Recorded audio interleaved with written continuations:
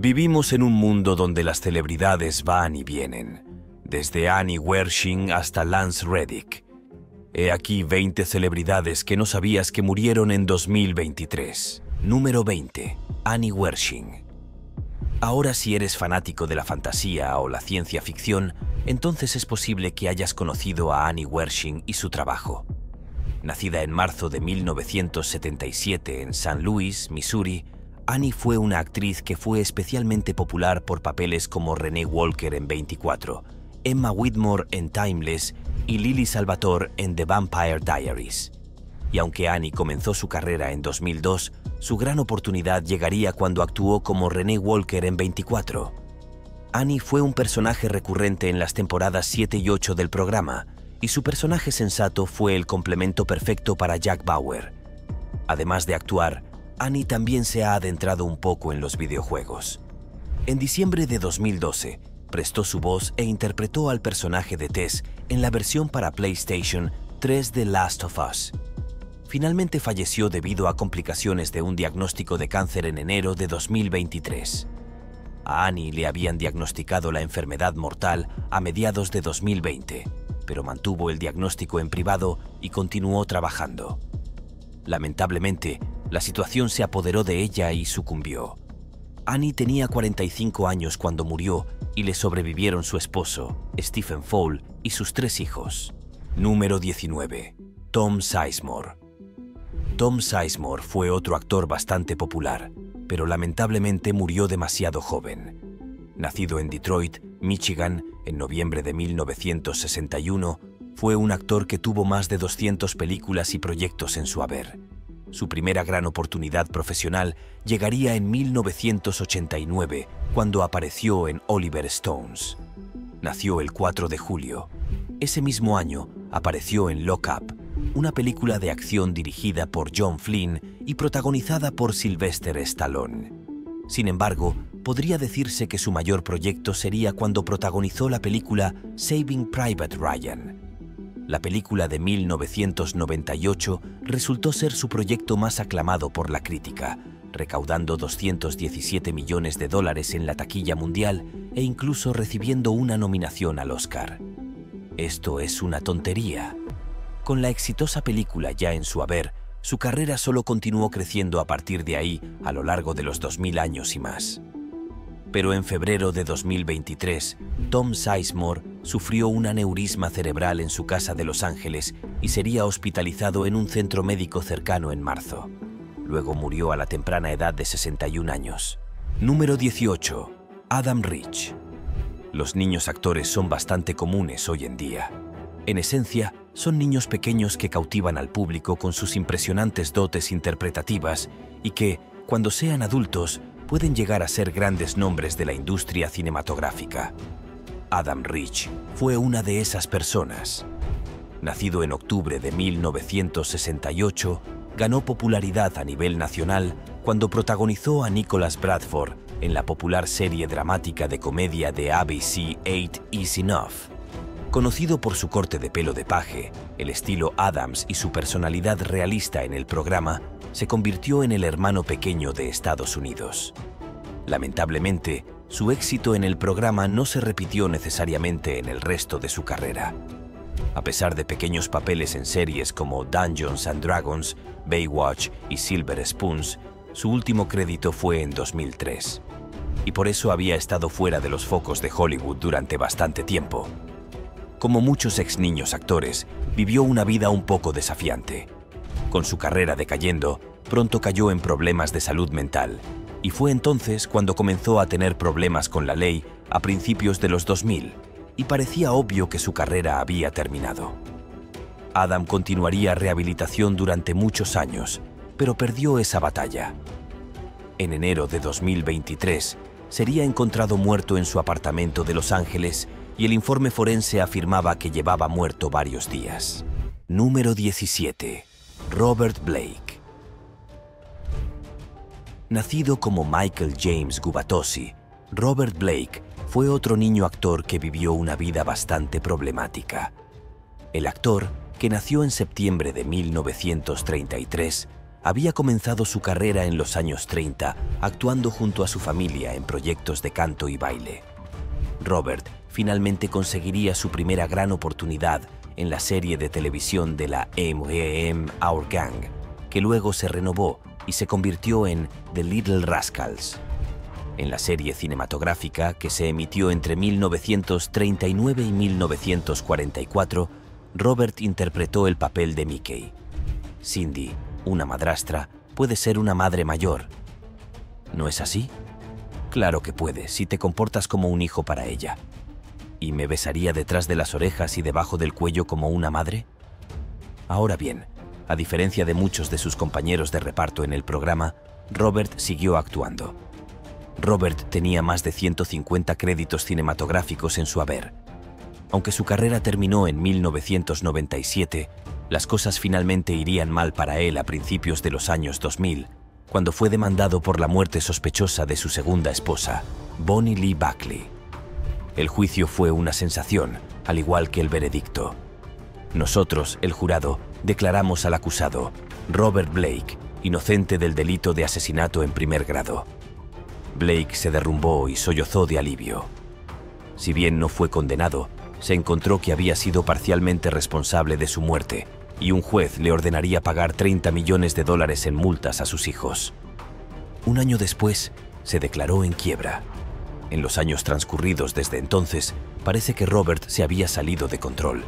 Tenía una relación distanciada con su familia y su situación financiera nunca mejoró.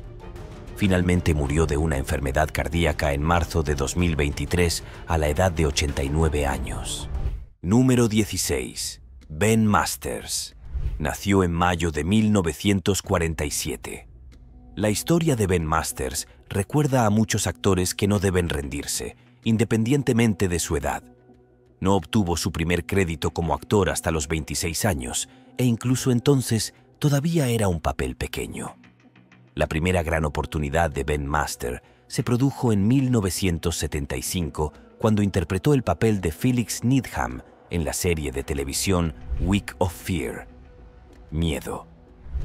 Siguió con una serie de apariciones tanto en televisión como en cine, que incluyeron un episodio del popular Walker, Texas Ranger. Sin embargo, a pesar de todo, su tiempo dedicado a las pasiones sería el más memorable interpretando al multimillonario mujeriego Julian Crane. Ben rápidamente se ganó el cariño de los fanáticos del programa de la NBC con su papel que le valió nominaciones al premio telenovela Opera Digest como mejor actor de reparto tanto en 2001 como en 2002, así como una nominación como mejor actor principal en 2005. Cuando ya no vives aquí, disfrutas de los beneficios de ser la señorita Julian Gray después de que Passions se cancelara en 2008, aparentemente se había alejado del centro de atención. No se supo mucho más de él y finalmente murió en enero de 2023 debido a complicaciones del coronavirus. Número 15. Gangsta Boo. Los verdaderos fanáticos de la música rap recordarán a Gangsta Boo, el rapero contundente y lleno de remates que puso la ciudad de Memphis, Tennessee, en su espalda. Nacida como Lola Chantrell Mitchell en agosto de 1979, Gangsta Boo era famosa por ser parte de Three Six Mafia, un grupo de rap al que se unió cuando solo tenía 14 años. Obtuvo importantes elogios por su trabajo como uno de los grupos de rap más dinámicos, trabajando con ellos y lanzando seis álbumes. Mientras estuvo en la mafia, también tuvo una carrera en ciernes. Su primer álbum en solitario, Inquiring Minds alcanzaría el puesto 15 en la lista de álbumes Billboard Top R y B Hip Hop, y su segundo, 69 en ambos mundos, lo hizo aún mejor, alcanzando el puesto número 8. Ahora continuaría triunfando en su carrera en solitario, sirviendo de inspiración para una nueva generación de raperas que actualmente están triunfando y con colaboraciones con artistas como Yellow Wolf, Eminem, Glorilla y La Chat, entre muchos otros se había ganado su lugar entre los grandes del hip hop. Lamentablemente, murió el 1 de enero de 2023 después de ser encontrada inconsciente en el porche de su madre. Número 14. Jansen Panettiere. Jansen Panettiere fue un ejemplo perfecto de una celebridad que murió trágicamente demasiado pronto. Nacido en septiembre de 1994, Jansen era el hermano menor de la actriz Hayden Panettiere, y al igual que su hermana mayor, fue una estrella infantil desde muy joven. Su primer papel en una película llegó en 2022 con una pequeña aparición en el programa de televisión Even Stevens, y con proyectos como Tiger Cruise, Hope and Faith y Ice Age 2, en su haber incluso antes de cumplir los 20 años, el niño estaba en camino de convertirse en una auténtica estrella porque a ella le interesa mucho mi actuación, de ella y de mi mamá. Así que es realmente agradable trabajar con alguien que está en la escena y que realmente puede ayudarte. Ahora, a pesar del éxito que tuvo, Jensen aparentemente tenía importantes problemas de salud. Cuando murió en febrero de 2023, su familia afirmó que se debió a una cardiomegalia, un agrandamiento del corazón. Puede que su vida se haya acortado, pero seguro que te hace preguntarte en qué podría haberse convertido realmente. Número 13. Al Brown. Nacido en 1940, Al Brown comenzó su vida lejos de Hollywood. De hecho, solo comenzó su carrera como actor después de servir 29 años en la Fuerza Aérea. Sin embargo, cuando empezó a actuar, inmediatamente causó impresión. Los papeles iniciales del actor llegaron en programas de televisión como FBI Files y Life on the Street, pero su mayor avance se produjo en 2002, cuando interpretó a Stanilas Stan Balchek en la exitosa serie de HBO The Wire. Como Stan, apareció en las cinco temporadas de la serie dramática aclamada por la crítica y su personaje incluso asumió un papel principal en la segunda temporada. Teniendo en cuenta que había sido militar, le resultó bastante fácil interpretar a Stan, el policía descarado y astuto que buscaba mantener limpia Baltimore. Al se ganaba el respeto en todas las salas a las que entraba en la línea de meta y a lo largo de las cinco temporadas del programa se convirtió en un favorito de los fans. Me pusiste nervioso, mayor. Me enviaste un detalle de jorobas. Podemos hablar de eso mañana. Creo que lo discutimos. Ahora voy a entrar allí y decirle a Santoni que vote en contra de esta maldita bebida carbonatada. Y más que eso, después del programa, continuó trabajando en Hollywood con apariciones en programas como La Ley y el Orden, El Comandante en Jefe y Sunset Bar. Pero, lamentablemente, moriría en enero de 2023 después de una batalla privada y prolongada contra el Alzheimer. Número 12. Keith Neil. Keith Neil fue una popular estrella de telerrealidad que fue más reconocida por su participación en Survivor. Keith, bombero de profesión, alcanzó una relativa fama después de haber competido en Survivor San Juan del Sur en 2015. Junto con su hijo Wesley, llegó a los cuatro finalistas antes de ser expulsado de la isla, lamentablemente. Ahora bien, si bien puede que no haya sido el más resistente, su naturaleza afable y su inteligencia callejera son lo que lo convirtieron en un competidor digno, lo que le valió una cantidad considerable de seguidores después de no tener tiempo para ti. Tengo un aspecto social, un aspecto físico, un aspecto mental. Siento que lo tengo todo. Eres tan fuerte mentalmente como esa roca que está ahí abajo con el camuflaje. ¿Cómo te llamas? Wes Keith. Dos temporadas después, estaba entre un grupo de exjugadores que habían sido seleccionados en una encuesta en línea para competir en Survivor Cambodia. Sin embargo, su segundo stint fue menos exitoso, ya que solo llegó al día 37 después del superviviente. No se supo mucho sobre Keith, salvo algunas apariciones aquí y allá. Su muerte en abril de 2023 sería un shock para muchos de nosotros, ya que su hijo anunció su muerte debido a un diagnóstico de cáncer que solo había descubierto dos meses antes. Número 11. Gina Loyobrigida. Gina Loyobrigida fue una de las primeras actrices internacionales que llegó a Hollywood y se hizo famosa. Nacida en Lacio en julio de 1927, se había consolidado como modelo a muy temprana edad, llegando incluso a quedar en tercer lugar en el concurso de Miss Italia en 1947. Un año después, comenzó a actuar en pequeños papeles por todo el país. Durante las décadas siguientes, se consolidaría como una auténtica estrella frente a la pantalla. Tuvo proyectos exitosos tanto en Estados Unidos como en Europa, optando varias veces por quedarse en su continente, a pesar del atractivo masivo de sus fans extranjeros. Ya se tratara de películas italianas como Pan, Amor y Sueños o éxitos de taquilla de Hollywood como Venga Septiembre, en la que había actuado junto a Rock Hudson, Gina había sabido defenderse de los mejores y se robaba escenas al instante. Después de que su carrera cinematográfica comenzara a decaer en la década de 1970, comenzó a trabajar como fotoperiodista y también fue una política y escritora conocida, habiendo seguido estando en el ojo público durante las últimas décadas. Murió en una clínica de Roma en enero de 2023. Aunque en realidad no está claro cuál fue la causa de su muerte, aunque tenía 95 años, fácilmente podrían haber sido causas naturales. Número 10. C.J. Harris C.J. Harris fue un cantante y compositor que saltó a la fama por su impresionante aparición en American Idol. Nacido en Jasper, Alabama, en enero de 1991, CJ rápidamente aprendió su amor por cantar y tocar instrumentos. A una edad temprana, el cantante autodidacta comenzó en el coro de su iglesia y luego lanzó un álbum en solitario llamado Small Town Boyden en 2010, aunque asistió a su primera audición de American Idol.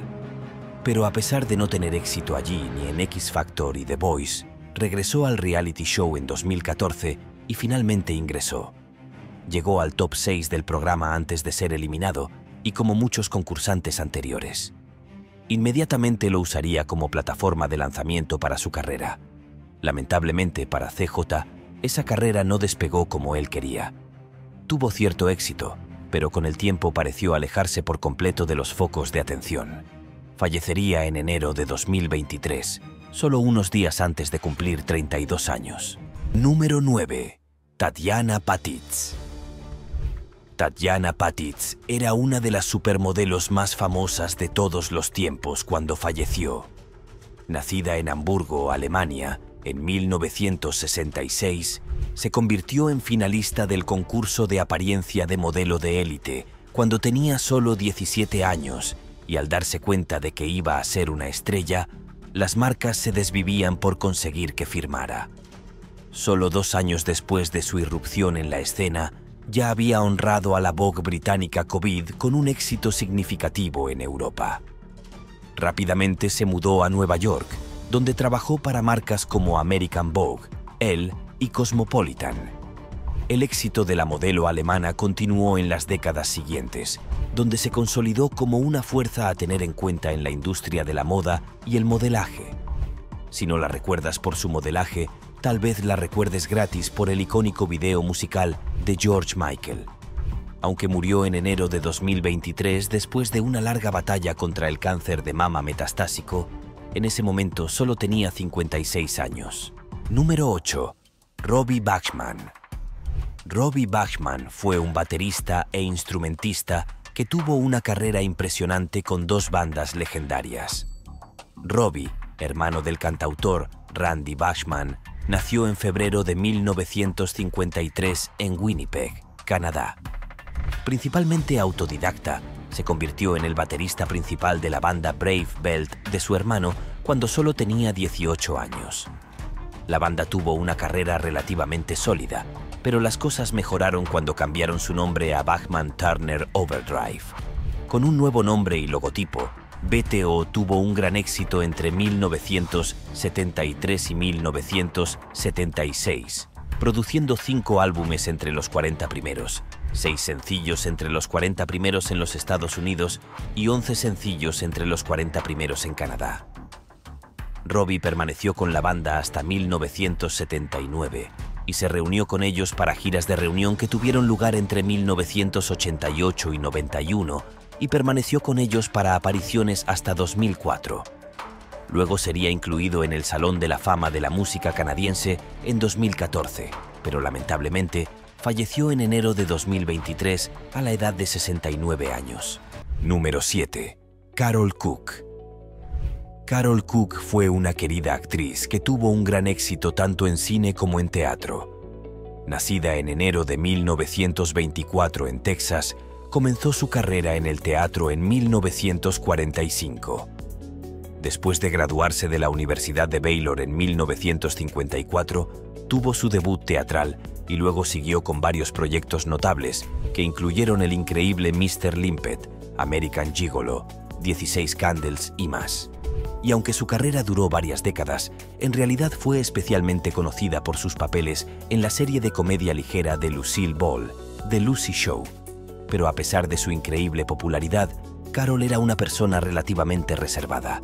Hizo apariciones aquí y allá, pero en los últimos años no apareció tanto en las noticias. Finalmente moriría en enero de 2023, apenas tres días antes de cumplir 99 años, después de haber sufrido una insuficiencia cardíaca.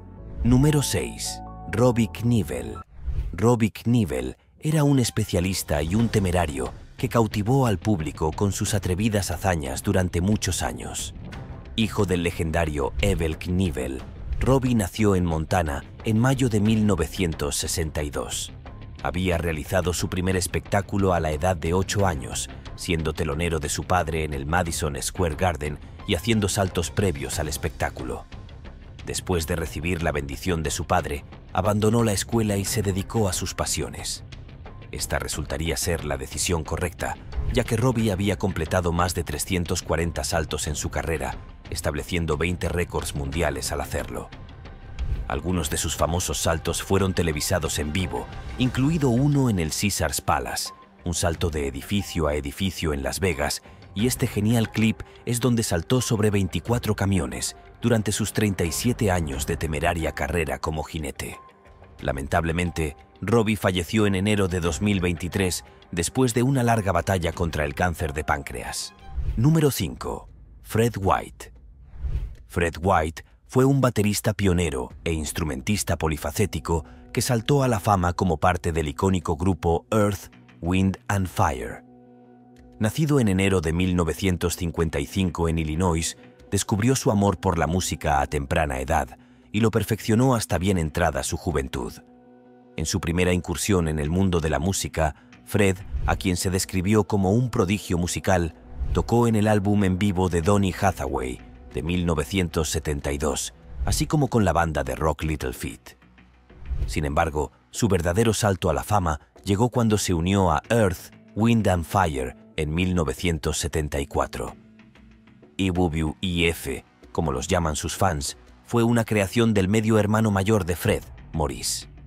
Después de formar la banda y lanzar cinco álbumes a partir de 1973, se abriría espacio cuando la banda necesitaba un baterista principal, y Fred, con los ojos muy abiertos, aprovechó esta oportunidad y nunca miró hacia atrás.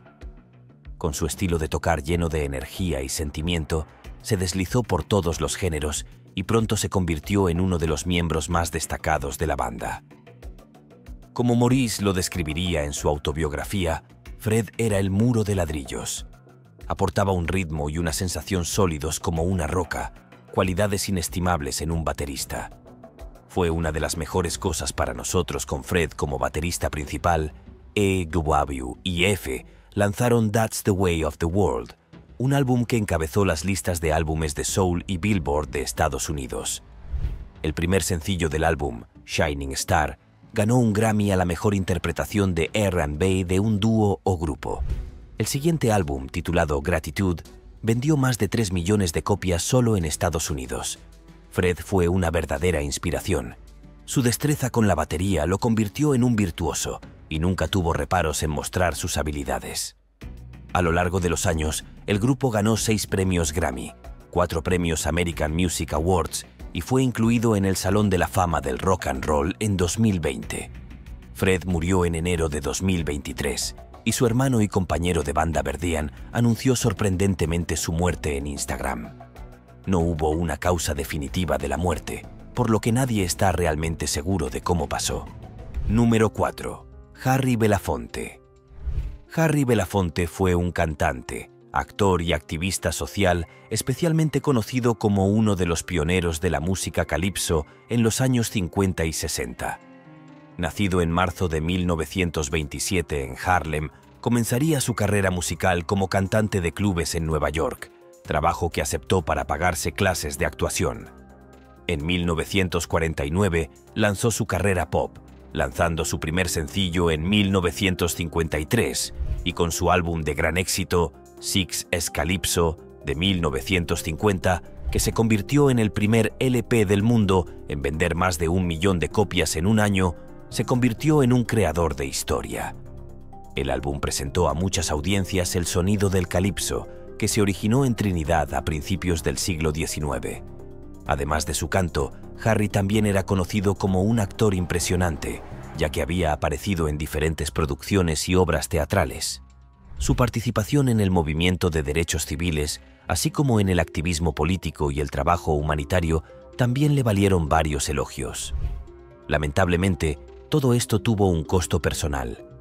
En 1996 le diagnosticarían cáncer de próstata.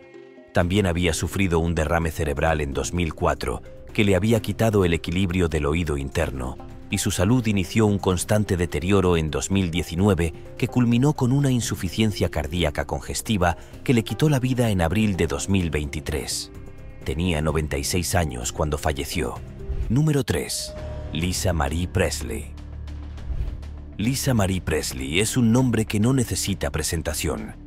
La hija del mismísimo rey del rock and roll, Lisa Marie Presley vivió toda su vida en el centro de atención y cuando falleció en 2023 se convirtió en noticia a nivel nacional. Nacida en Memphis, Tennessee, hija de Elvis y Priscilla, Lisa Marie fue una cantante y compositora que alcanzó una gran fama a lo largo de su carrera. Su álbum debut, A quien corresponda, alcanzó el puesto número 5 en la lista Billboard 200 de álbumes y fue certificado disco de oro menos de un año después de su lanzamiento. Luego tuvo dos álbumes más en las listas, así como créditos en varias canciones de gran éxito. Sí, se puede decir con seguridad que los genes musicales corren por su sangre. Fuera de su carrera, tuvo una vida controvertida. Desde su matrimonio con Michael Jackson hasta su relación aparentemente distanciada con varios miembros de su familia, siempre estuvo en las noticias. Lamentablemente, con el paso del tiempo, su salud también se deterioró y en enero de 2023 sufrió un paro cardíaco en su casa de Calabasas, California. A pesar de los mejores esfuerzos de los paramédicos por reiniciar su corazón, moriría ese mismo día a la edad de 54 años. Número 2. Jeff Beck. Jeff Beck fue un guitarrista revolucionario que saltó a la fama como miembro de Yardbirds. Nacido en Surrey en junio de 1944, comenzó a tocar la guitarra como miembro del coro de su iglesia local a la edad de 10 años. Sin embargo, mientras asistía a la universidad, comenzó a tocar para varios grupos, que incluían Night Shift, Rumbles y Tridents. Sin embargo, no fue hasta que los Yardbirds lo reclutaron en 1965 para reemplazar al guitarrista Eric Clapton que su carrera realmente despegó y a pesar de haber pasado solo un corto periodo con la banda, ayudó a lograr algunos de sus 40 éxitos más emblemáticos. El tiempo de Jeff con la banda fue suficiente para prepararlo para una exitosa carrera en solitario, y cuando todo estuvo dicho y hecho, había ganado ocho premios Grammy y Rolling Stone, lo consideraba uno de los cinco mejores guitarristas de todos los tiempos. Lamentablemente, murió en enero de 2023 después de haber sufrido un caso de meningitis bacteriana mientras estaba en un hospital de River Hall. Número 1. Lance Reddick. Un actor querido y reconocido cuya muerte fue más una sorpresa que otra cosa. Nacido en junio de 1972, obtuvo su primer papel en la serie de televisión de 1996 New York Undercover continuó con esa buena racha hasta los 2000 años y en 2002 consiguió el papel de Cedric Daniels en The Wire. Tenemos el cargo cuando lo queramos. ¿Por qué no estar al tanto del micrófono que tenemos en su oficina? El error del que no me informaste. Bueno, pensé que tu pajarito te contó todo lo que hicimos. Un minuto después de que lo hiciéramos, uno de los nuestros se lastimó después de haber aparecido en más de 60 episodios de la exitosa serie de HBO. Su ascenso astronómico continuó, con el actor protagonizando proyectos como Jonah Hex, White House Down y Angel Fallen en años más recientes. También recibió un reconocimiento importante por estar en la serie de suspenso y acción de Keanu Reeves, John Wick. En una película protagonizada por personajes como Keanu Reeves, Ian McShane y Lawrence Fishburne, había logrado destacar con su encanto inocente. Habitación 818 y como siempre, es un placer tenerlo con nosotros nuevamente. Sin embargo, solo unos días antes del estreno de la cuarta y última entrega de la serie en marzo de 2023, de repente se anunció que había fallecido a causa de una enfermedad cardíaca. La muerte de Lance fue impactante para todos, especialmente porque antes no parecía tener ningún problema de salud subyacente. 2023 había sido un año brutal para la muerte de celebridades y considerando que todavía faltan unos meses para el final del año, espero que nuestras estrellas favoritas se queden el tiempo suficiente para sonar en 2024. Gracias por ver este video. Hasta la próxima.